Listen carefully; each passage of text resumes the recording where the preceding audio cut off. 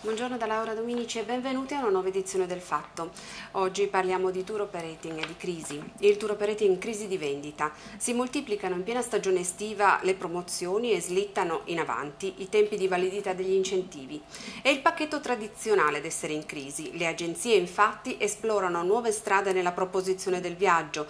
Si afferma la pratica del dynamic packaging come dimostrano gli incrementi a doppia cifra nelle vendite dei network con le OLTA e con le piattaforme online online che dispongono di una banca letti importante.